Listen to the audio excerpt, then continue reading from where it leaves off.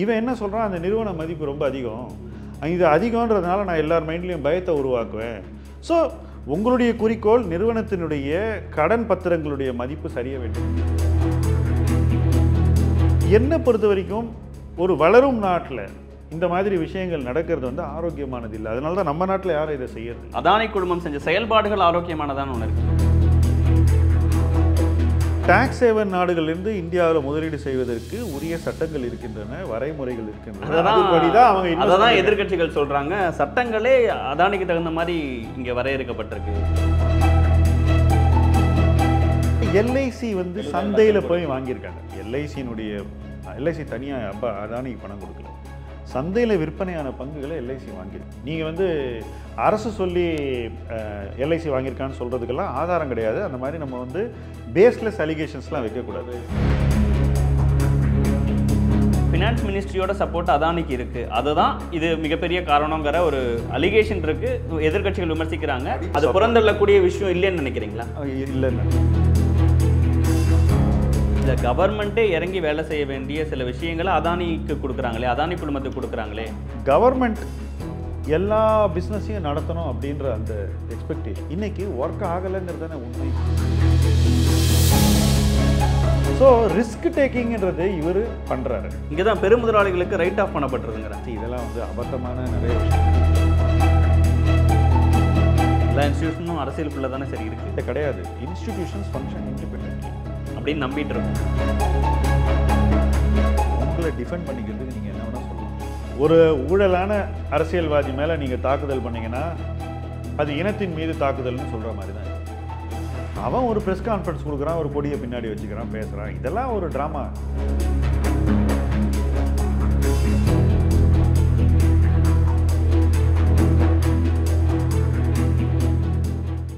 வணக்கம். இது தி டிபேட் நான் தினேஷ். சிறப்பு நேர்காணலில் இன்று நம்மோடு இணைந்திருப்பவர் முதலீட்டு ஆலோசகர் திருமிகு ஷியாம் சேகர் அவர். சார் வணக்கம். வணக்கம். எப்படி இருக்கீங்க சார்? நல்லா இருக்கேன். ஐம்பதாயிரம் சப்ஸ்கிரைபர் ரீச் பண்ணியிருக்கீங்க வாழ்த்துக்கள். தேங்க்யூ சார் மேன்மேலும் வளர வாழ்த்துக்கள். தேங்க்யூ சார் தேங்க்யூ சார் இருபத்தி நாலாம் தேதி ஹிண்டன்பர்க் ஒரு அறிக்கையை கொடுக்குறாங்க. அதானி குழுமத்தை குற்றஞ்சாட்டி நூற்றி ஆறு பக்கங்கள் முப்பத்தி ரெண்டாயிரம் வார்த்தைகள்னு எனக்கு நினைவு சரியாக இருந்தா.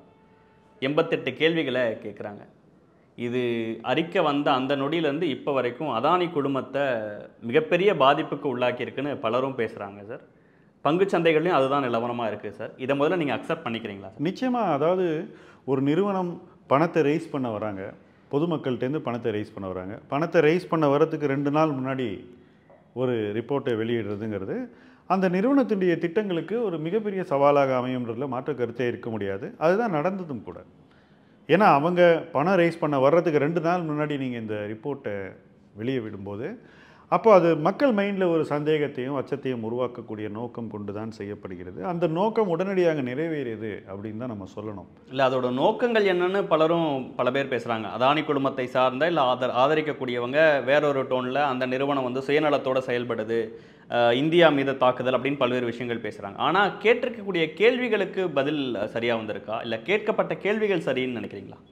இல்லை எல்லா நிறுவனங்களை பற்றியும் கேள்வி கேட்பதற்கு எல்லாருக்கும் உரிமை இருக்குது அந்த கேள்விகளுக்கு விடை சொல்ல வேண்டிய அவசியம் நிறுவனத்துக்கு இருக்குது பொறுப்பும் இருக்கிறது. பங்குதாரர்கள் பங்குதாரர்களாக வரப்போகிறவர்கள் பொதுமக்கள் எல்லாருக்குமே பதில் சொல்ல வேண்டிய இடத்துல தான் நிறுவனங்கள் இருக்க வேண்டும். அதுதான் நியாயம். இந்த கேள்விகள் வந்து எப்படி கேட்கப்படுகின்றன அப்படிங்கிற ஒரு பாயிண்ட் தான் இந்த இடத்துல வந்து வருகிறது. ஒன்று இவங்க வந்து என்ன சொல்கிறாங்கனாக்கா நாங்கள் இந்த நிறுவன பங்குகள் மதிப்பில் எண்பத்தைந்து சதவீதத்தை இழக்க வேண்டும் என்று நினைக்கிறோம் அப்படின்னு ஒரு நம்பரை கொடுக்குறாங்க. இந்த நம்பரை கொடுக்கும்போதே அதுக்கு என்ன கால்குலேஷன் பார்த்தீங்கன்னா அந்த கால்குலேஷன்லாம் பார்க்கும்போது ரொம்ப அமைச்சூரிஷாக இருக்குது அது வந்து ஒரு ப்ரொஃபஷ்னல் வேலையாக கூட தெரியல ஆக்சுவலி ரெண்டாவது நாங்கள் இந்த நிறுவனத்தினுடைய பங்குகளை விற்றவர்கள் சார்பாக இந்த அல்லது இந்த நிறுவனத்துடைய பாண்ட்ஸ் விலை இறங்க வேண்டும் என்று நினைப்பவர்கள் சார்பாக நாங்கள் இந்த ரிப்போர்ட்டை வெளியிடுறோன்னு தெளிவாக சொல்கிறாங்க ஸோ அப்படி சொல்லும்போது அந்த கருத்துக்களை எல்லாம் நீங்கள் அந்த பா இடத்துலேருந்து இருந்து தான் அதை பார்க்க வேண்டிய கட்டாயம் இருக்குது அந்த நிறுவனம் அப்படிப்பட்ட நிறுவனம் தான் ஷார்ட் செல்லிங் பண்ணக்கூடிய அதை அதுதான் அவங்க பிஸ்னஸே அதாவது இன்னொருத்தருக்கு இடையூறு ஏற்படுத்தி நெருக்கடி ஏற்படுத்தி அதன் மூலமாக லாபம் சம்பாதிப்பவர்களோடு இணைந்து செயலாற்றக்கூடிய ஒரு நிறுவனம் தான் ஹிண்டன்பர்க் இல்லை சார் அந்த நிறுவனமே அதை வெளிப்படையாக அறிவிச்சு தான் பண்ணுறாங்க இதில் ஒன்றும் மறைக்கக்கூடிய விஷயங்கள்லாம் இல்லைன்னு நினைக்கிறேன் எனக்கு தெரிஞ்சு. ஆனால் அவங்க கேட்ட கேள்விகள் அதானி குழுமத்தின் மீது மக்களுக்கு மிகப்பெரிய சந்தேகத்தை ஏற்படுத்தினது தானே இவ்வளோ பெரிய வீழ்ச்சிக்கு காரணமாக இருக்கும். இதில் வந்து அதானி குழுமம் வந்து ஒரு நியாயமாக செயல்படக்கூடியவங்களா இருந்தால் இல்லை அந்த குற்றச்சாட்டுகள்லாம் சரியான பதிலை அவங்க கொடுத்தாங்கன்னா இவ்வளோ பெரிய வீழ்ச்சி நடக்காதுல்ல? இல்லை இல்லை. அதாவது இப்போ எந்த நிறுவனமாக இருந்தாலும் பணத்தை ரைஸ் பண்ணுறதுக்கு ரெண்டு நாள் முன்னாடி நீங்கள் ஒரு ரிப்போர்ட் போட்டிங்கன்னா அப்போது அந்த ரிப்போர்ட்டை பேஸ் பண்ணி பொதுமக்கள் இடையில பதட்டம் ஏற்படும். ஒரு காலகட்டத்தில் ஐசிஐசிஐ பேங்க்கை பற்றி ஏதோ ஒரு பொருளை வருது. குஜராத்தில் எல்லா பேங்க்லேயும் போய் பணத்தை வித்ட்ரா பண்ண மக்கள் நின்னாங்க. பொதுவாக மக்கள் ரியாக்ட் பண்ணக்கூடிய விதம் இதுதான். இன்றைக்கும் ஐசிஐசிஐ பேங்க் இருக்குது அன்னைக்கு இருந்ததோடு இன்றைக்கி பெட்டர் ஷேப்பில் இருக்குது ஆனால் அன்னைக்கு அந்த பேங்க்குக்கு ஏற்படுத்தப்பட்ட நெருக்கடி வந்து அசாதாரணமான நெருக்கடி. ஸோ இந்த நெருக்கடியை ஏற்படுத்துவது என்பது என்ன நேரத்தில் எப்படி செய்யப்படுகிறது யாரால் செய்யப்படுகிறது அது நிறுவன நோக்கத்துக்கு எதிராக எப்படி அமைகிறது? நிறுவனம் வந்து பணத்தை ரைஸ் பண்ணி முதலீடு செஞ்சு சொத்துக்கள் உருவாக்க வேண்டும் அல்லது கடனை அடைக்க வேண்டும் என்று சில நேரடியான நோக்கங்களுக்காக தான் இந்த பணத்தை ரைஸ் பண்ண வரான் இவன் என்ன சொல்கிறான் அந்த நிறுவன மதிப்பு ரொம்ப அதிகம். இது அதிகம்ன்றதுனால நான் எல்லார் மைண்ட்லேயும் பயத்தை உருவாக்குவேன். இல்ல, அவங்களுடைய இயல்பான மதிப்பை விட மிகை மதிப்பீடு பண்ணி கடனை வாங்கியிருக்காங்க. இவன் என்ன சொல்கிறான்னாக்கா நான் இந்த நிறுவனத்தை பற்றி இந்த கருத்தை வைத்திருக்கிறேன். இந்த கருத்தை நான் வெளியிடுவதற்கு இதெல்லாம் என்னுடைய காரணங்கள். இதனால் இந்த நிறுவனத்துடைய மதிப்பு எண்பத்தைந்து சதவீதம் குறைய வேண்டும் அப்படின்னு அவன் சொல்கிறான் இப்போ இதை சொல்லும்போது அவன் சொல்கிற எல்லா ஃபேக்ட்ஸும் அவன் மார்ஷல் பண்ணுற ஃபேக்ட்ஸ் நான் இந்த நிலைப்பாடை சொல்லிவிட்டு அதுக்கு சார்பான கருத்துக்கள் எதெல்லாம் சொல்ல முடியுமோ அல்லது அந்த கருத்தின் வடிவத்தையே நான் அந்த மாதிரி அமைத்து கொடுப்பது தான் இயல்பு. ஏன்னா நீங்கள் ஏற்கனவே ஒரு முடிவை தேடி போகிறீங்க அப்போ அந்த முடிவை தேடி தான் நீங்கள் உங்கள் ஆதாரங்களை வைப்பீங்க. ஸோ உங்களுடைய குறிக்கோள் நிறுவனத்தினுடைய கடன் பத்திரங்களுடைய மதிப்பு சரிய வேண்டும் என்பது. அதுதான் குறிக்கோள். கடன் பத்திரங்களுடைய மதிப்பு சரிந்தால் மறுபடியும் அவங்களுக்கு யாரும் கடன் கொடுக்க மாட்டார்கள் என்பதுதான் இதை இன்னொரு ஆங்கிள் வந்து புரிஞ்சுக்கும் போது ஒரு சாதாரண ஒரு ரிசர்ச் இன்ஸ்டியூட் அவங்க வந்து இங்கே இருக்கக்கூடிய பங்குச்சந்தை முறைகேடுகளை பார்த்து உன்னிப்பாக கவனித்து ரெண்டு வருஷம் ரிசர்ச் பண்ணி ஒரு டாக்குமெண்ட்டை கொடுக்கறது. அதானி குழுமம் மாதிரி இந்தியா முழுக்க மிகப்பெரிய தாக்கத்தை ஏற்படுத்தக்கூடிய ஒரு குழுமத்தில் இவ்வளோ பெரிய தா வீழ்ச்சியை ஏற்படுத்த முடியும்னா அந்த அளவுக்கு மோசமான சூழல்ல தான் அதானி குழுமம் இருந்திருக்கா? இல்லை எப்போவுமே நீங்கள் பயத்தை விதைச்சிங்கனாக்கா இதுதான் ரியாக்ஷன் வரும். அது ரொம்ப சின்ன ஆனாலும் சரி ரொம்ப பெரிய ஆளாலும் சரி. சத்தியம் நிறுவனத்தின் பங்குகள் கிட்டத்தட்ட தொண்ணூறு பர்சன்ட் வேல்யூவை ஒரே நாள்லேயே ரெண்டு நாள்லேயே எழுதுது ஓரிரு நாட்களில். ஆனால் அந்த நிறுவனம் நிலைத்தது இன்றைக்கும் வளர்ந்து டெக் மஹிந்திராவாக இருக்கிறது. ஆனால் அந்த நேரத்தில் நீங்கள் அச்சத்தை உருவாக்குவது என்பது எளிதில் நடக்கக்கூடிய ஒரு விஷயம்.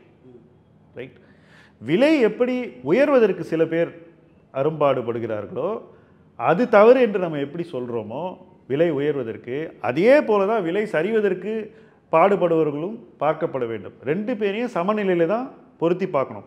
ஒருத்தர் விலையை ஏற்றுறதுக்கு ஒரு விதமான ரிப்போர்ட்டை கொடுத்து அப்படிதான் இவங்க பண்ணியிருக்காங்கன்னு சொல்றாங்க. அது சரியா தப்பா? என்னை பொறுத்த வரைக்கும் ஒரு வளரும் நாட்டில் இந்த மாதிரி விஷயங்கள் நடக்கிறது வந்து ஆரோக்கியமானது இல்லை. அதனால தான் நம்ம நாட்டில் யாரும் இதை செய்யறதில்ல.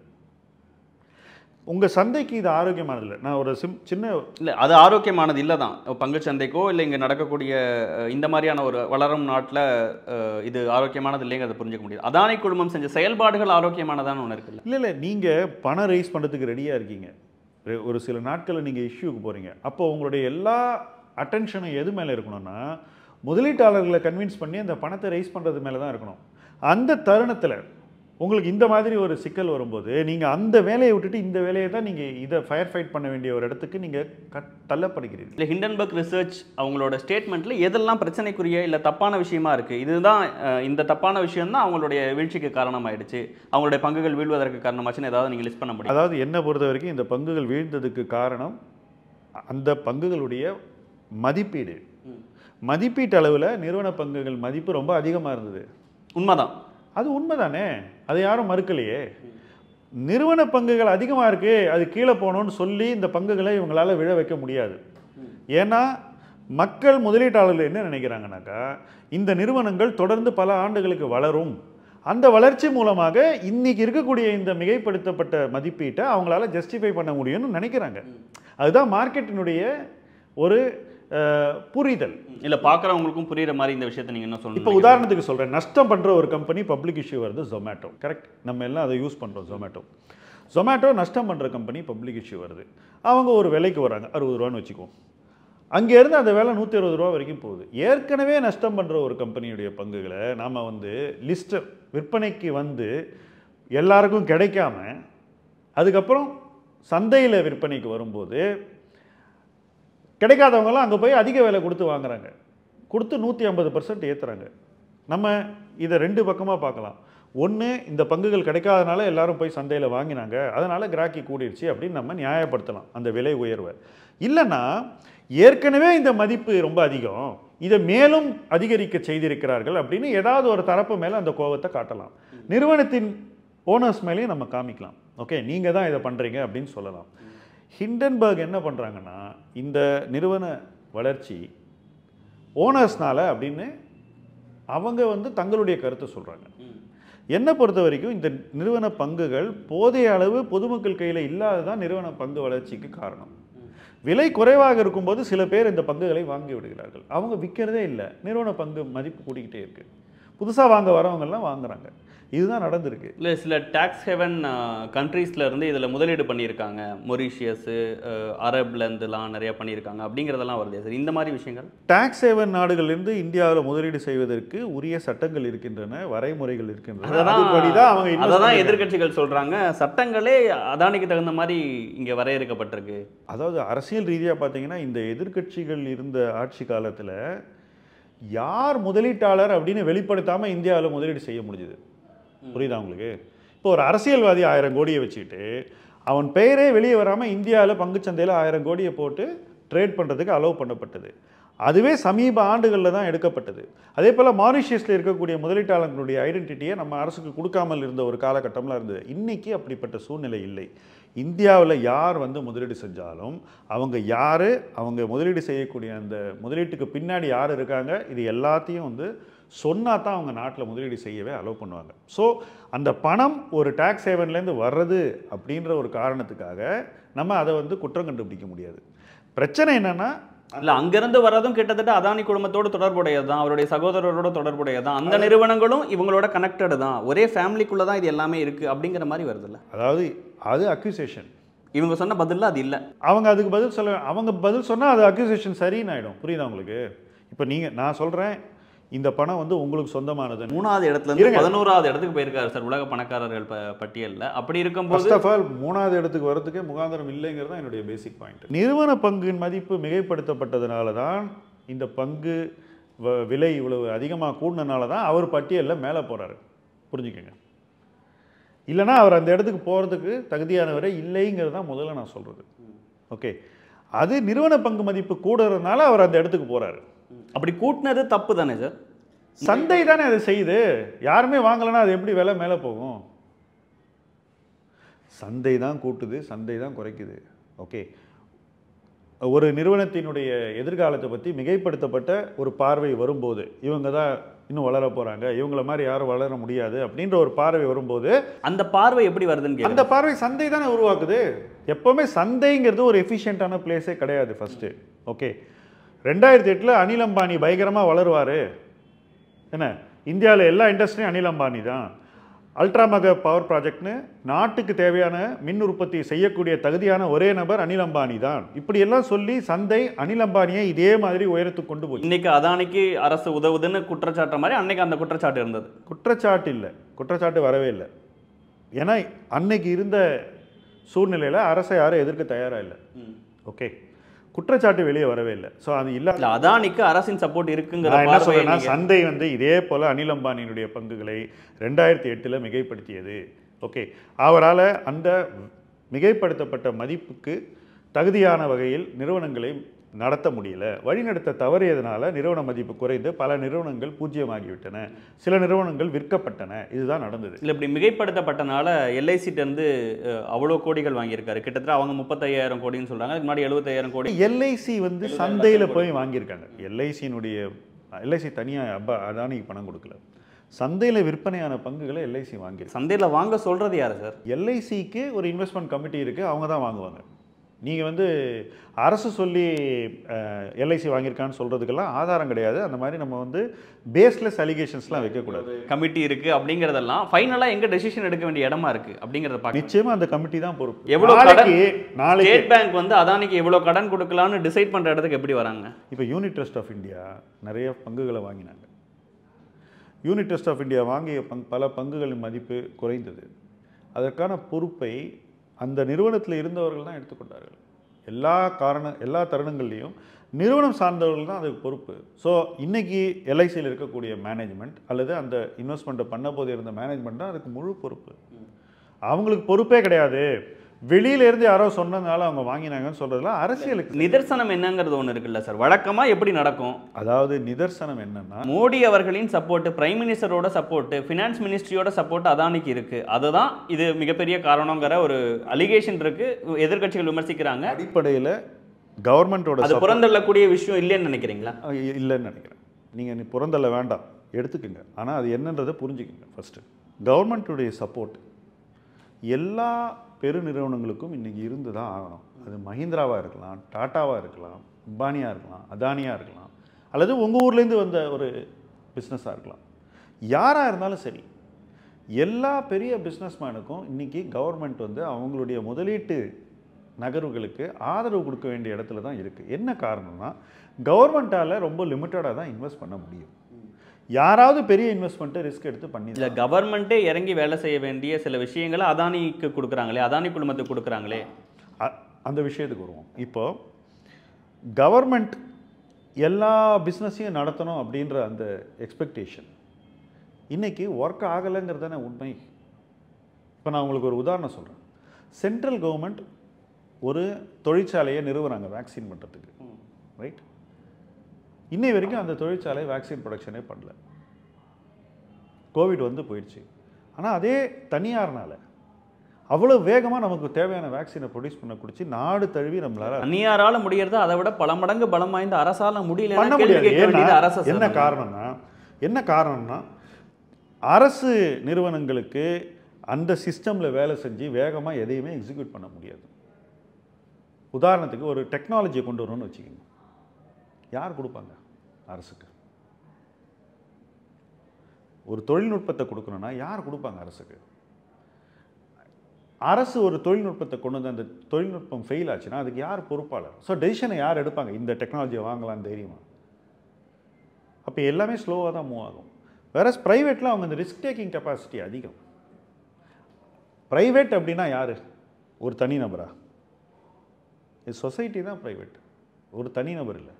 ஒரு தனிநபர் அந்த இல்ல இது கவர்மெண்டால முடியாது. பிரைவேட் தான் சிறந்ததுன்னு சொல்றதே ஒரு தப்பான அஹ், பார்வையா இருக்கும்ல சார் தப்பே கிடையாது. தமிழ்நாட்டை தவிர எல்லா இடத்துலையும் அந்த பார்வை இருக்குது தமிழ்நாட்டில் மட்டும் நம்ம ஏன் நம்ம ஊரில் இப்போ கேபிள் டிவி வந்து கவர்மெண்ட் மட்டும் இருக்கக்கூடாது? எதுக்கு ப்ரைவேட் கேபிள் டிவி எதுக்காக சேனல்லாம் வந்து இப்போ ப்ரைவேட் சேனல் இருக்கணும் தமிழ்நாட்டில்? எல்லாத்தையுமே நம்ம தூர்தர்ஷன் கவர்மெண்ட்டே பார்த்துட்டு இருக்கலாமே. எதுக்காக ப்ரைவேட் சேனல் ப்ரைவேட்டுன்னு வரும்போதும் இங்கே எல்லாருக்குமான காம்படிஷனே இல்லை. ஒன்லி அதானி மட்டும்தான் அதில் போட்டியே போடுறாரு. அந்த அந்த அந்த ஃபில்டர்ஸ்லயே அதானி மட்டும்தான் வராரு. அப்படிங்கும்போது அது அதானி போட்டி போடுறாரு இங்கே நீ இல்ல அவருக்கு என்ன எக்ஸ்பீரியன்ஸ் இருக்குன்னு ஒன்று கேட்குறாங்க துறைமுகங்கள் அதானி கொடுக்கும்போது அதானிக்கு என்ன எக்ஸ்பீரியன்ஸ் இருக்குன்னு கேட்குறாங்க விமான நிலைய கட்டுமானங்கள் அதானி கொடுக்கும்போது அதானிக்கு என்ன எக்ஸ்பீரியன்ஸ் இருக்குன்னு கேட்குறாங்க அப்படியான ஒருத்தருக்கு எந்த விதமான காம்படிட்டர்ஸும் இல்லாம அவருக்கு ஒரு ஃபீல்டை ஓப்பன் பண்ணி விடுறது கவர்மெண்ட் அவருக்கு பின்னாடி அவ்வளோ சப்போர்ட் பண்ணுதுங்கிறது தானே அதாவது அதானி வந்து ஃபஸ்ட்டு ஒரு துறைமுகத்தை ஏற்படுத்தியது முந்திரால. ஓகே அதை வந்து அவங்க ஏற்படுத்தி சக்ஸஸ் பண்ணதுக்கப்புறம் அவங்க மற்ற துறைமுகங்களுக்குலாம் வராங்க. துறைமுகத்துறையில் அவங்க வந்து மற்றவங்களோட சக்ஸஸ்ஃபுல்லாக இருந்ததுனால மற்றவங்க அவங்க துறைமுகங்களை இவங்களுக்கு விற்றுட்டு போயிருக்காங்க. யார் யாரெல்லாம் இவங்களுக்கு விற்றுருக்காங்கன்னு நீங்கள் லிஸ்ட்டு பாருங்கள் துறைமுகம் அதானிக்கு யாரால் விற்கப்பட்டது அப்படின்னு ஒரு லிஸ்ட் எடுத்தீங்கன்னா டாட்டா விற்றுருக்காங்க லாசன் அண்ட் டூபுரோ விற்றுருக்காங்க எல்என்டி ஒரு இப்போ நம்ம தமிழ்நாட்டில் இருக்கக்கூடிய போர்ட்டை எல்என்டி அதானிக்கு விற்றுருக்காங்க எல்என்டினால் அதை அந்த அளவுக்கு எஃபிஷியண்ட்டாக நடத்த முடியல. ஏன்னா அந்த பிஸ்னஸை ரன் பண்ணுறதுக்கு எல்என்டிக்கு ஒரு எக்ஸ்பர்டீஸ் போதுமான அளவு இல்லை. போர்ட்டை பில்ட் பண்ணுறது எல்என்டிக்கு தெரியும். தொழிலை நடத்துறது வேற ரைட் ஸோ எல்என்டி அந்த பிஸ்னஸை இவங்களுக்கு விற்கிறாங்க இப்போ இவங்க வாங்கினோடனே என்ன பண்ணுறாங்க அதை இன்னும் பெருசாக்கணுன்ற ஒரு டிசிஷன் எடுக்கிறாங்க. அந்த மாதிரி ரிஸ்க் டேக்கிங் கெப்பாசிட்டி இவங்களுக்கு இருக்கிறதுனால தான் அதை அவங்க முந்திரால சக்ஸஸ்ஃபுல்லாக பண்ணதுனால தான் அவங்க இந்த பிஸ்னஸில் நிலைக்க முடியுது இல்லை நீங்கள் சொல்கிற அந்த எல்லா குவாலிட்டிஸும் இங்கே அதானி குடும்பத்துக்கு மட்டும்தான் இருக்க மாதிரி ஒரு பிம்பத்தோட பார்வையோட சொல்கிறீங்களா ஆக்சுவலாக இந்தியாவில் எந்த குழுமத்துக்கும் போர்ட்டில் வந்து கெப்பாசிட்டி கிடையாது. என்ன? அதனால் நம்ம வந்து வெளிநாட்டவர்கள் தான் நம்ம நாட்டில் போர்ட்டை ரன் பண்ணணும். அதனால் வந்து துபாய் போர்ட் வேர்ல்டு டிபி வேர்ல்டுன்னு ஒரு கம்பெனி வராங்க.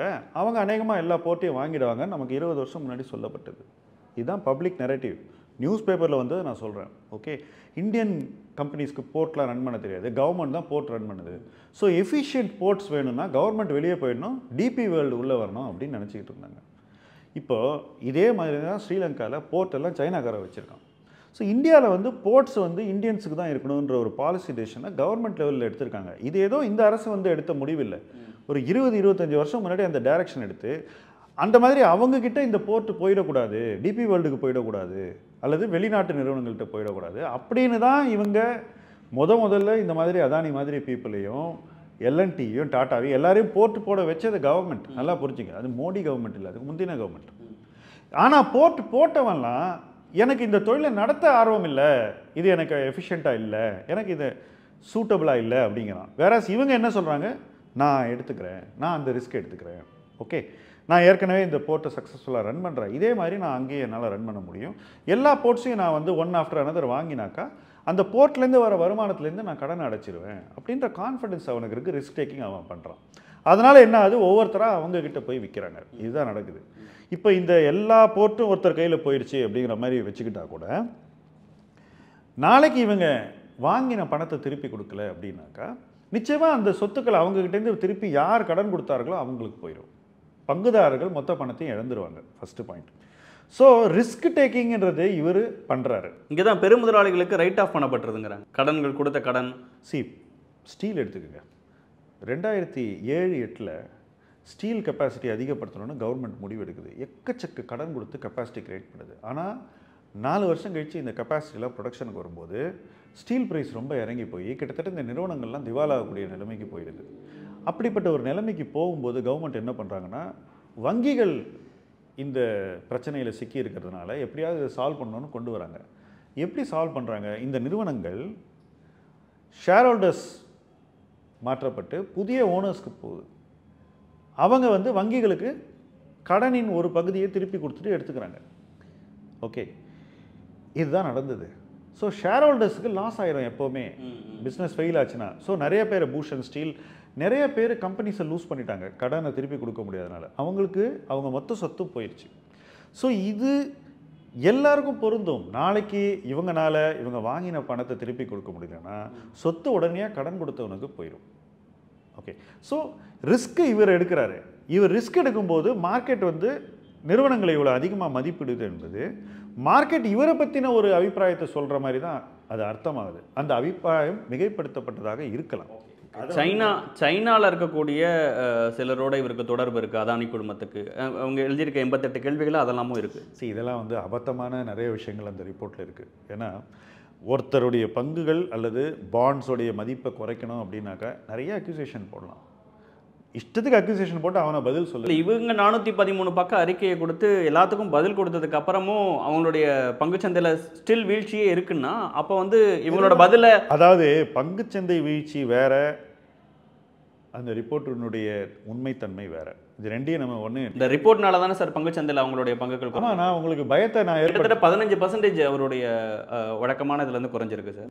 நான் வந்து அந்த மாதிரி ஃபியரை வந்து கிரியேட் பண்ணேன்னா அந்த மாதிரி டைமில் இதுதான் நடக்கும். வேற எதுவும் நடக்காது. கொரோனா கிரைசிஸ் வந்தது. ஸ்டாக் மார்க்கெட் எவ்வளோ விழுந்தது? ஒரே வாரத்தில் சரிஞ்சிடுச்சு. ஒரே வாரத்தில் முப்பது நாற்பது பர்சன்ட் கீழே வந்துடுச்சு பங்குகள் இன்னைக்கு இது ஒரு குழுமத்தினுடைய பல பங்குகளுக்கு நடந்திருக்கிறது. இதுக்கு என்ன பொறுத்த வரைக்கும் ரெண்டு மூன்று காரணங்கள் தான். ஒன்று முதல் காரணம் நிறுவன மதிப்பு மிகைப்படுத்தப்பட்டது என்பதுதான். அது மறுக்க முடியாது. நிறுவன மதிப்பு ரொம்ப அதிகமாக இருக்குன்றது தான். அது ஏன் அதிகமானது? எப்படி இவங்க விலையை குறைக்கணும்னு நினைக்கிறாங்களோ அதே போல் இன்னொரு தரப்பும் அந்த விலையை கூட்டணும்னு வேலை செஞ்சுருக்காங்க. அந்த தரப்பு இந்த தருணத்தில் எதுவும் செய்ய முடியாது. இவங்க விலையை குறைக்கணும்னு ஒரு ஆர்குமெண்ட் பண்ணும்போது பொதுமக்கள் மத்தியில் பயம் வரும்போது யாரெல்லாம் இந்த பங்குகளை வச்சுருக்காங்களோ அவங்கள வித்துட்டு ஓடுறாங்க. அப்போ விலை வேகமாக சரியுது. ஓகே. இப்போ விலை ஏறுறதும் இறங்குறதும் சந்தை சார்ந்தது. அது நடந்துக்கிட்டே தான் இருக்கும். விலை ஏறினா அது சரின்னு சொல்ல இல்லை இப்போ விலை அதிகமாகுது அப்படின்னு சொல்றீங்க சார். இதில் பலரும் முன்வைக்கக்கூடிய ஒரு விஷயம் செபியோட செபி வந்து இதை ஃபுல்லாக கண்காணிக்கல.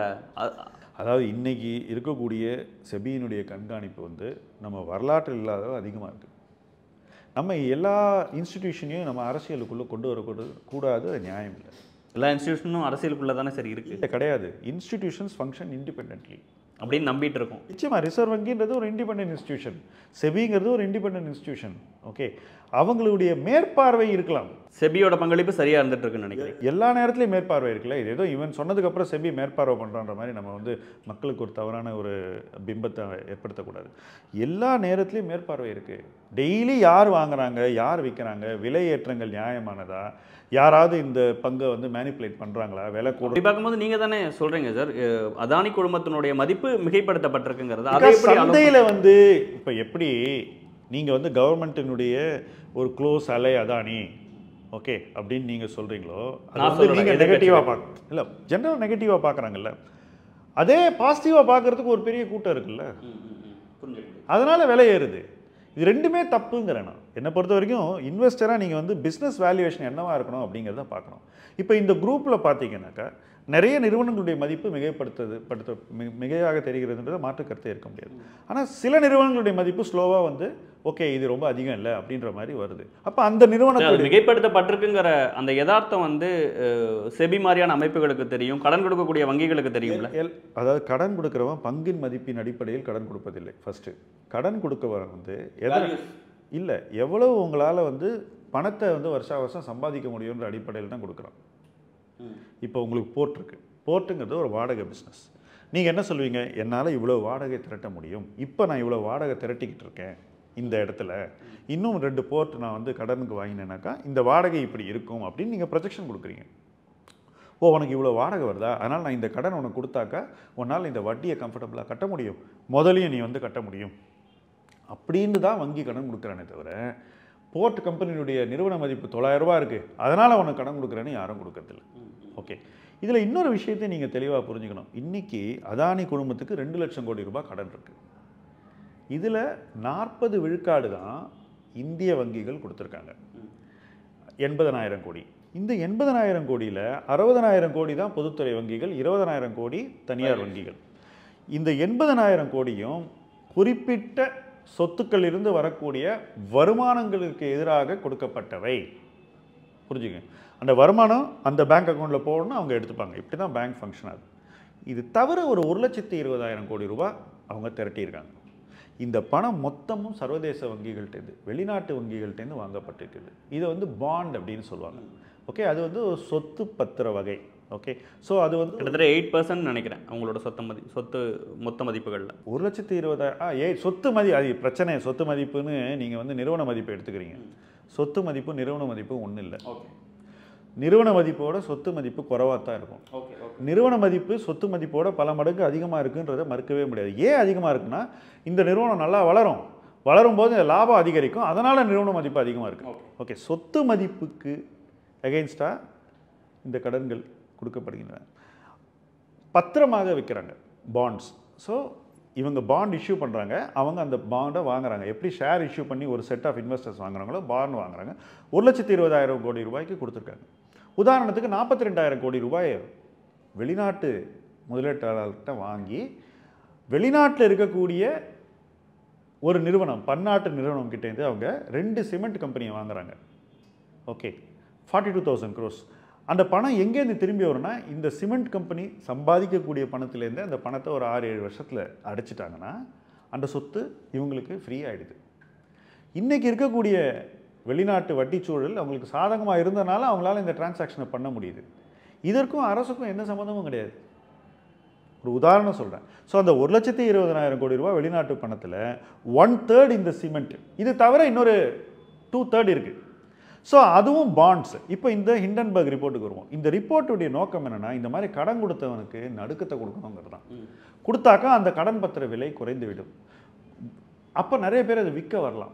அப்போது இந்த நிறுவனம் எப்படியாவது தன்னுடைய நிலைமையை அந்த இன்வெஸ்டர்ஸ் கிட்ட நிலைநாட்ட கஷ்டப்படணும். ஸோ அந்த ஒரு இக்கட்டில் இந்த நிறுவனத்தை ஈக்விட்டி ஷேர் விற்கிற தருணத்தில் உருவாக்கணும் அப்படிங்கிறது தான் ஹிண்டன்பர்குடைய நோக்கம். ரொம்ப தெளிவான நோக்கம். ஓகே இப்போ ஹிண்டன்பர்க் அவங்க நினைச்சதை சாதிச்சிட்டாங்களா? இல்லையே. அதுதானே விஷயம். இன்றைக்கி இவங்க பணத்தை ரைஸ் பண்ணிட்டாங்க. பப்ளிக் இஷ்யூ முடிஞ்சு போச்சு. அதானி தனக்கு தேவையான பணத்தை ரைஸ் பண்ணிட்டாங்க. ஸோ ஹிண்டன்பர்க் நினச்ச மாதிரி இந்த இஷ்யூ ஃபெயில் ஆகலை. ஓகே ஸோ இப்போ ஹிண்டன்பர்க் தொடர்ந்து போராடணும். எ- எ- இப்போ அவருடைய மதிப்பு குறைஞ்சிருக்கு அவருடைய பங்குகள் வீழ்ச்சியா இருக்குன்னு சொல்றாங்களே அது அவருடைய சக்சஸ் இல்லையா? ஹிண்டன்பர்க் ரிப்போர்ட்டோட சக்சஸ் கிடையாதா? இப்போ பாண்டினுடைய ப்ரைஸ் வெகுவாக சரிந்து அவங்க வாங்கினா தான் அவங்களால பணம் பண்ண முடியும். ஷேர் விலை இறங்கினதில் அவங்களுக்கு பணம் பண்ணுறதுக்கு வாய்ப்புகள் மிக குறைவு. புரியுதா உங்களுக்கு? பாண்ட் ப்ரைஸ் குறைஞ்சாதான் அவங்களால உண்மையிலேயே நிறைய பணம் பண்ண முடியும். ஸோ அந்த பாண்ட் ஏன்னா ஒரு லட்சத்தி இருபதாயிரம் கோடி ரூபாய் வெளிநாட்டு பத்திரங்களின் அடிப்படையில் அது வெளியே கீழே வந்துன்னா பில்லியன்ஸ் ஆஃப் டாலர்ஸ் நீங்கள் சம்பாதிக்க முடியும். அதற்கான ஒரு சூழல் இந்த தருணத்தில் உருவாக்கப்படவில்லை. பாண்டோட வேல்யூஸ் குறையிலையா இன்னும்? இவங்க எதிர்பார்க்க நடக்கலைல்ல இப்போ அவரு அதானி குடும்பத்துல இருந்து அவங்களுக்கு பதில் கொடுக்கும்போது அந்த அதானி குடும்பத்தின் மீதான தாக்குதல் இந்தியாவின் மீதான தாக்குதல். இதெல்லாம் உங்களை டிஃபெண்ட் பண்ணிக்கிறதுக்கு நீங்கள் என்ன வேணால் சொல்லலாம். ஒரு ஊழலான அரசியல்வாதி மேலே நீங்கள் தாக்குதல் பண்ணீங்கன்னா அது இனத்தின் மீது தாக்குதல்னு சொல்கிற மாதிரி தான் இது. அதானி செஞ்சது தப்பு. இந்த விஷயத்துல இப்படியான ஸ்டேட்மெண்ட் கொடுத்தது. அதானி இஸ் நாட் இந்தியால டெஃபினெட்லி நாட் அதில் என்ன டவுட் உங்களுக்கு? இல்ல அப்படியான nobody statement is India. India is bigger than all of us. அதில் என்ன சந்தேகம் உங்களுக்கு? சி ஒரு நிறுவனம் அவங்களுடைய அந்த இக்கட்டில் என்ன சொல்கிறாங்கன்றதுலாம் வந்து நம்ம அதை மதிக்க வேண்டிய அவசியமே கிடையாது. அதுக்கு எதுக்கு இவ்வளோ இம்பார்ட்டன்ஸ் கொடுக்கணும்? அவன் என்ன வேணால் சொல்லிட்டு போகிறான் கவர்மெண்ட்டை சொன்னால் அதான் இஸ் இந்தியான்னு யாரும் சொல்லியே அவன் ஒரு ப்ரெஸ் கான்ஃபரன்ஸ் கொடுக்குறான் ஒரு கொடியை பின்னாடி வச்சுக்கிறான் பேசுகிறான் இதெல்லாம் ஒரு ட்ராமா இதுக்கெல்லாம் நம்ம இவ்வளோ இம்பார்ட்டன்ஸ் கொடுக்க வேண்டிய அவசியமே கிடையாது. அதுக்கு மரியாதையே கிடையாதுங்கிறேன் அந்த மாதிரி பேசுறதுக்கெல்லாம். யாராவது மதிச்சாங்களா அந்த மாதிரி பேசினதை? அதன் அடிப்படையில் அவங்களுக்கு பணம் கிடச்சி நீங்கள் நினைக்கிற கிடையவே கிடையாது. இந்த சொத்துக்கள் வேறு யார்ட்டையும் கிடையாது. இந்த சொத்துக்கள் நல்ல வருமானத்தை கொடுக்கக்கூடியவை திவாலாவதற்கான சாத்தியக்கூறுகள் குறைவு. இந்த சொத்துக்களில் நம்ம முதலீடு செஞ்சால் நமக்கு நஷ்டம் வராது வருங்காலத்தில் லாபம் வரும். இந்தியாவினுடைய அவரை வளர்ச்சி நம்பி பணம் போட்ட சில முதலீட்டாளர்கள் இதுல இருந்து பின்வாங்க வாய்ப்பு இருக்கு. அப்ப அது அதானி குடும்பத்துக்கு தானே சார் ரிஃப்ளெக்ட் ஆகும். இப்போ வாங்கலையே பணம் கொடுத்துருக்காங்கல்ல திருப்பி. இப்போ யார் பணம் கொடுத்து இந்த இஷ்யூ முடிஞ்சுது? முதலீட்டாளர் பணம் கொடுத்து தானே முடிஞ்சுது பத்தாயிரம் கோடி ரைஸ் பண்ணிட்டாங்க. ஸோ இந்த ஒரு சூழ்நிலையில் இந்த கிரைசிஸ் என்ன கிரியேட் பண்ணியிருக்குன்னா அதானி நிறுவனமாக இருந்தால் கூட இந்தியாவில் பணம் திரட்டணும்னா பாடுபடணும் அப்படின்ற ஒரு பிம்பத்தை உருவாக்கி இருக்கிறது. இது நல்லதாக கெட்டதாக சொல்லுங்க. இந்தியாவில் அதானி என்ன வேணால் செய்யலாம் தானே எல்லாரும் சொல்லிட்டு இருந்தாங்க. இன்றைக்கி அவங்க குடும்பமே பணம் ரைஸ் பண்ணுறதுக்கு நம்ம நாட்டில் எவ்வளோ கஷ்டப்படணும் தங்களை எப்படி கிளியர் பண்ணிக்கணும் அவங்க பேரை யார் வேணால் அவங்கள அடிக்கலாம். ஜனநாயகத்தில் எல்லா விஷயங்களுக்கும் இடம் இருக்குது அதையெல்லாம் மீறி தான் அவங்க பணத்தை ரைஸ் பண்ணோம் தங்கள் கிரெடிபிலிட்டியை ப்ரூவ் பண்ணோங்கிறது இந்த இஷ்யூவில் நிரூபணமாச்சா இல்லையா? சி ஒரு விஷயம் பிஸ்னஸ் பீப்புள் ரிஸ்க் எடுப்பாங்க. பிஸ்னஸ் பீப்புள் தான் இந்த நாட்டில் ரிஸ்க் எடுக்கணும். அவங்க தான் கடன் வாங்கணும் அவங்க தான் தொழில் நிறுவனம் அவங்க தான் வளர்ச்சிக்கு எல்லா முயற்சியும் எடுக்கணும். அதில் பல பேர் ஃபெயில் ஆவாங்க. ஃபெயில் ஆனவனை உடனடியாக நம்ம வந்து ஒரு சாயம் பூசக்கூடாது. என்ன ரீசன்னா வருங்காலத்தில் யாருமே ரிஸ்க் எடுக்க மாட்டாங்க.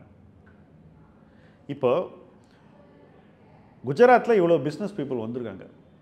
ஓகே பெரிய பெரிய பிஸ்னஸ் குடும்பங்கள். லட்சக்கணக்கான கோடி ரூபாய் நிறுவன மதிப்பு இருக்குது இவங்கெல்லாம் சொற்ப காசோட தான் பிஸ்னஸ் ஆரம்பிச்சிருக்காங்க. எல்லாருமே கடன் வாங்கி தான் சொத்துக்களை உருவாக்கியிருக்காங்க கடன் வாங்கி சொத்தை உருவாக்கும் போது அந்த சொத்துலேருந்து வரக்கூடிய வருமானத்தை வச்சு அல்லது சில சொத்துக்களை விற்று கடனை அடைச்சிடுறாங்க. அல்லது பங்குகளை விற்று கடனை அடைச்சிடுறாங்க. ஒன்று நீங்கள் சொத்தை விற்கணும் இல்லை சொத்துலேருந்து வர வருமானம் இல்லை பங்குகளை விற்கணும் குஜராத்தை பொறுத்த வரைக்கும் இந்த மூணையும் நல்லா செய்கிறாங்க ஓகே. இதனுடைய மல்டிப்ளையர் எஃபெக்ட் அந்த சொசைட்டியில் என்னன்னா குஜராத்திஸ் நிறைய இந்த நிறுவன பங்குகளில் முதலீடு செய்கிறாங்க ஓகே. இப்போ நிறுவன மதிப்பு இந்த மாதிரி கூடும்போது பணம் எங்கே போகுது? குஜராத்திகளுக்கு போகுது. அந்த மாநிலத்தில் இருக்கக்கூடிய சாதாரண பிரஜைகள் கூட இதில் பணம் சம்பாதிக்கிறான் அவன் என்ன பண்ணுறான் அந்த பங்கை விற்றுட்டு ஒரு வீடு வாங்குறான் ஒரு கார் வாங்குறான் ஒரு பிஸ்னஸ் ஆரம்பிக்கிறான். அவன் ஒரு அம்பானி ஆகணும்னு நினைக்கிறான். அவன் ஒரு சன் ஃபார்மா மாதிரி ஆகணும்னு நினைக்கிறான் அல்லது டாரண்ட் மாதிரி ஆகணும்னு நினைக்கிறான் அல்லது ஜைடஸ் மாதிரி ஆகணும்னு நினைக்கிறான் அல்லது அதானி மாதிரி ஆகணும்னு நினைக்கிறான். ஸோ என்ன ஆகுதுன்னா இது வந்து ஒரு பாசிட்டிவ் ஸ்பைரல் இது குஜராத்தில் நடந்திருக்கு. என்னை பொறுத்த வரைக்கும் இது எல்லா இடத்துலையும் நடக்கணும். நிறைவா சார் இப்போது எல்ஐசியை மென்ஷன் பண்ணி பலரும் இருபத்தி நாலாம் தேதியிலேருந்து பேசிக்கிட்டே இருக்கக்கூடிய சூழலில் காமன் மேன் பல பேருக்கும் இந்த கேள்வி வருது. எல்ஐசியில் பணம் போட்டனே நான் அந்த பணம் போட்ட எனக்கு எல்ஐசியோட பங்கு அங்கே வந்து ரெஃப்ளெக்ட் ஆகுது பிரச்சனைக்குள்ளாகுது பணம் வீழ்ச்சி ஆகுது அப்படிங்கிற ஒரு புரிதலோடு பேசிக்கிட்டு இருக்காங்க. எல்ஐசியில் பாலிசி போடுற உங்களை மாதிரி என்ன மாதிரி இருக்கக்கூடிய ஒரு காமன் மேனுக்கு இப்போ அதானி குழுமத்தினுடைய பங்குகள் வீழ்ச்சி ஏதாவது தாக்கத்தை ஏற்படுத்துமா? எல்ஐசியினுடைய பிஸ்னஸை ஃபஸ்ட்டு புரிஞ்சுப்போம். எல்ஐசிக்குன்னு தனியாக கேபிட்டல் கிடையாது. பங்குதாரர்களுடைய அதாவது பாலிசி ஹோல்டருடைய பணத்தை வச்சுக்கிட்டு தான் எல்ஐசி இயங்குது. அவங்க விளக்கம் கொடுத்துருக்காங்க. Policy ஒன் பர்சன்டேஜுக்கு கீழே தான் நான் போட்டிருக்க பணம்னு சொல்லியிருக்காங்க. பாலி பாலிசி ஹோல்டருடைய பணத்தை வச்சுக்கிட்டு இன்வெஸ்ட் பண்ணுறாங்க அந்த இன்வெஸ்ட்மெண்ட்டில் வர ப்ராஃபிட் தான் அவங்க போனஸாக கொடுக்குறாங்க. நிறுவனத்தை நடத்துறதுக்கு யூஸ் பண்ணுறாங்க அதை வச்சு தான் அவங்க கிளைம்ஸையும் செட்டில் பண்ணணும். இந்த பிஸ்னஸ் உடைய நேச்சரே வந்து ரொம்ப லாங் டேர்ம் கேபிட்டல் தான் ஹேண்டில் பண்ணணும். உடனடியாக திருப்பி விற்க வேண்டிய பங்குகள்லாம் அவங்க வாங்க முடியாது. எல்ஐசியினுடைய இன்வெஸ்ட்மெண்ட் ட்ராக் ரெக்கார்டுன்னு நீங்கள் இன் கம்பெனி வைஸ் பார்த்தீங்கன்னா அது வந்து என்றைக்குமே வந்து வெறும் இன்வெஸ்ட்மெண்ட் பண்ணுற கம்பெனியோட கம்பேர் பண்ணால் நல்லா இருக்காது. அது ஆவரேஜாக தான் இருக்கும். ஆனாலும் பத்து வருஷம் இருபது வருஷம் முப்பது வருஷம் ஐம்பது வருஷம்னு அவங்க பங்குகளை வச்சுக்கிறதுனால எல்ஐசி மாதிரி ஒரு லாபத்தை பார்க்கறதுக்கு யாராலையும் முடியாது. ஓகே. நான் ஒரு ரெண்டு உதாரணம் உங்களுக்கு சொல்கிறேன் ரெண்டாயிரத்தி ஏழு எட்டுலேயும் எல்ஐசிக்கு ஐடிசியில் ஹெவி ஷேர் ஹோல்டிங் இருந்தது எல்என்டியில் இருந்தது டாடா ஸ்டீலில் இருந்தது. இன்றைக்கும் எல்ஐசி தான் லார்ஜஸ்ட் ஷேர் ஹோல்டர் எல்என்டியில் ரெண்டாயிரத்தி எட்டுலேருந்து இன்னி வரைக்கும் வெறும் எட்டு பர்சன்ட் ரிட்டர்ன் தான் பண்ணியிருக்கான். எதில்? எல்என்டியில் டாடா ஸ்டீல்லையும் கிட்டத்தட்ட அதே லெவல் வச்சுக்கோங்க. பெரிய ரிட்டர்ன்லாம் பண்ணல. உங்களுக்கு தெரியும் ஷேர் ஹோல்டர் போனஸ் அஞ்சாறு பர்சன்ட் கொடுக்குறாங்க. ஓகே ஒரு இன்வெஸ்டராக பார்த்தீங்கன்னா ஏழு எட்டு பர்சன்ட் கிடைக்குது. இது நல்ல இன்வெஸ்ட்மெண்ட்டா இதை விற்றுட்டு போயிருக்கலாமே நான் ரெண்டாயிரத்தி எட்டில் கேள்வி எழுப்பலாம். எல்ஐசி தப்பு செஞ்சது அப்படின்னு சொல்லலாம். இந்த நிறுவன பங்குகள்லாம் விற்றுட்டு போயிருக்கணும் அது மாதிரி தான் இன்றைக்கி அதானியை பற்றிய கேள்வி எழுப்பப்படுகிறது. அந்த கேள்வியை எழுப்பக்கூடாதுன்னு நான் சொல்லலை. ஆனால் அந்த கேள்வியை எழுப்புறதுல எப்படி நம்ம நியாயமாக இருக்கணுங்கிறதுல ஒரு வரைமுறை இருக்குது என்னை பொறுத்த வரைக்கும் இந்த நிறுவன பங்குகள் ரொம்ப அதிகமான மதிப்பீட்டுக்கு போச்சு. அதில் சில பங்குகளை எல்ஐசி விற்றாங்க பல பங்குகளை அவங்க விற்கலை நல்லா ஏறும்போது விற்க வேண்டியது அவங்களுடைய இன்வெஸ்ட்மெண்ட் ரெஸ்பான்சிபிலிட்டி ஓகே ரொம்ப ஒரே பங்குகள் அதிகமாக வாங்கக்கூடாது அப்படிங்கிறது அவங்களுடைய அவங்களோட இன்வெஸ்ட்மெண்ட் ரெஸ்பான்சிபிலிட்டி எல்ஐசி இந்த அளவு தான் இந்த ரெஸ்பான்சிபிலிட்டியை ஃபுல்ஃபில் பண்ணிட்டு வருது. இதனால் ஒரு பெரிய பாதிப்பு இது வரைக்கும் லாங் டேர்மில் தான் அப்படிங்கும்போது இதனால பாதிப்புகள் வராதுன்னு சொல்கிறேன் ஆமாம் இதே பத்து பதினஞ்சு வருஷம் கழிச்சு இதே அதானி குழும மதிப்பு இந்த மதிப்பு இருக்குமா அப்படின்னு கேட்டால் அவங்க சர்வைவ் ஆகி இதே மாதிரி ஃபங்க்ஷன் பண்ணால் நிச்சயமாக இருக்கும். நீங்கள் சத்தியம்க்கு சொன்னது இதுக்கும் பொருந்தும். பொருந்தும். ஓகே சார் இவ்வளோ நேரம் உங்கள் நேரத்தையும் கருத்துக்களையும் பகிர்ந்து கொண்டமைக்கு மிக்க நன்றி. நன்றி. All the best